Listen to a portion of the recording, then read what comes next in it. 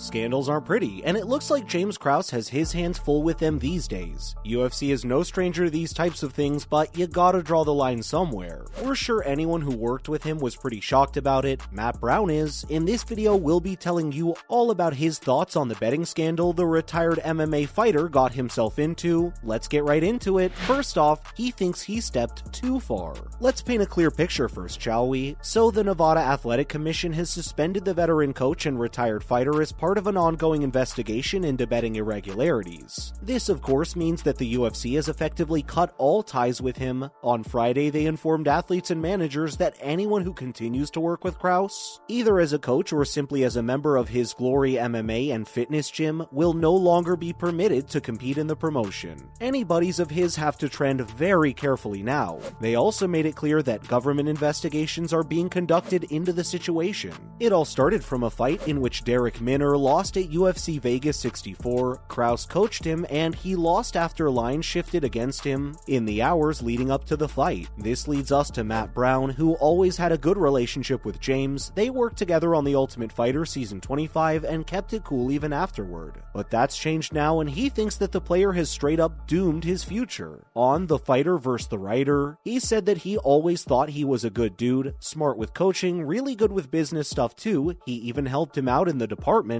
but this time he stepped a little too far. There might be no coming back from this. Up next, he's never seen anything like this. You'd think someone who's been in the game for this long has seen a lot. Well, this is a first for Brown. He was quick to clarify that he does not approve of this at all. Doesn't matter what kind of relationship they had before, it's over once you do something as unprofessional as this. The fighter said James overstepped his boundaries and looked like Pete Rose. Yeah, he said that.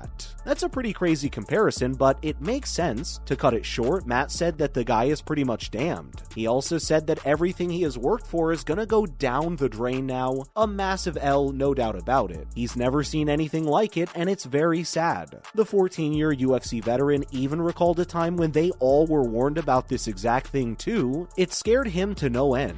Coming up, the warning Krause never took seriously. In fact, he claimed that the training he got from a Federal Bureau of Investigation agent scared him out of ever participating in anything related to gambling or the UFC. It was that serious, you guys. They all did a UFC summit back in 2010 or 2011, and these were annual. As this one, they brought in all the fighters and had them listen to speeches. One of the speakers was an FBI agent, and he talked about sports betting and just how dangerous the consequences are. It's tempting, but it's not worth all the trouble. Then Brown also talked about how many people just turned the other cheek. Funny enough, it all kind of fell off now, according to him. Everyone's promoting betting.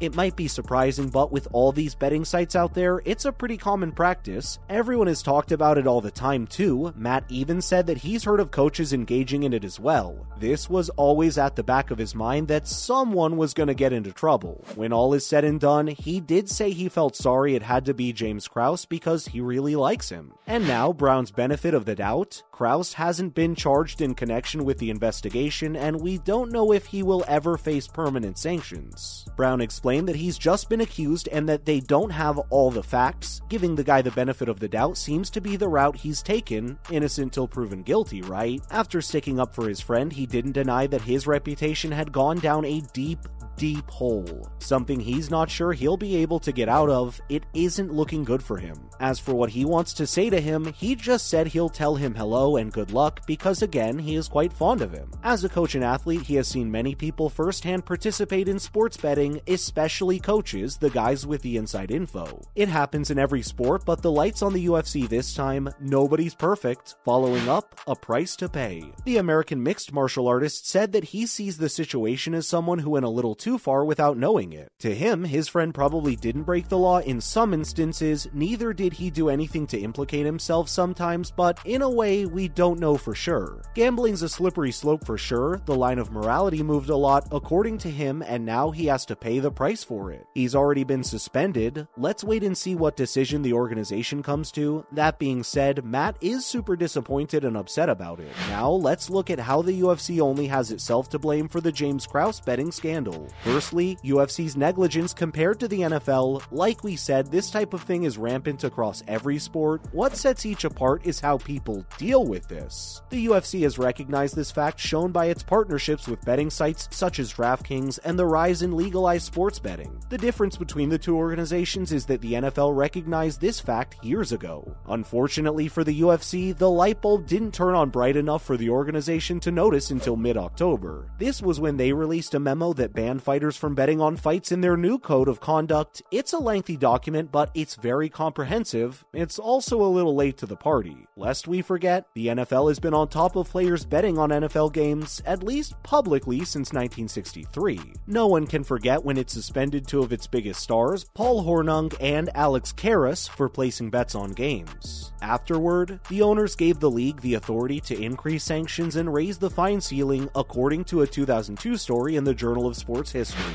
Up next, Dana White's statements on the Code of Conduct. Today, the NFL's gambling policy is five full pages long, and it ticks every box. Just a fact that makes you realize just how seriously they've taken the matter since Hornung and Karras. The message that their suspensions gave was that the NFL safeguarded the game's integrity and image. Dana White also agreed, saying that the UFC Code of Conduct was more optics than anything else. What White and the UFC failed to recognize was that it should have addressed the issue of allowing fighters, coaches, teammates, and others with potential inside information to bet on fights a long time ago. Optics play a part, sure, but you gotta enforce a rule before it's too late. They could have taken action many times before. An example of this is when they warned Tae Hyun Bang and Leo Kuntz about fight fixing back in 2017. But they didn't when they should have put their foot down. Instead, they waited until after they signed a five year deal with DraftKings worth a reported $350 million in 2021, and until sports betting was legal in some form in most states in the United States. Last but not least, the consequences of inaction. Before they did anything about fighters and coaches betting on the promotion in which they competed, something else happened. A prominent coach and ex UFC fighter appeared on a major MMA podcast and bragged all about how much money he was making betting on UFC fights. Their inaction was exposed in 2017 when Bang was found guilty of accepting bribes and sentenced to prison in connection with the fight throwing scheme. Since the incident occurred in South Korea before the Supreme Court decided to allow legalized gambling in the United States, the promotion was dropped quicker than you could say a word. We can't say the same about James Krause, though. Yes, the UFC is run by smart folks. It's unclear why the promotion did not prohibit fighters, coaches, and camps from betting on UFC fights before 2022. They've been strict about many things, telling fighters they must wear branded fight kits and they cannot have outside sponsors at UFC events, that they must be drug tested, and all that. So, of course, they're not above implementing laws on betting. It's quite mind boggling they waited this long. Well, that's all for this video. What do you think of Matt Brown's stance on the James Krause scandal? Let us know in the comments below, and while you're down there, please be sure to leave a like and subscribe for more videos like this. Thank you so much for watching. We'll see you in the next one.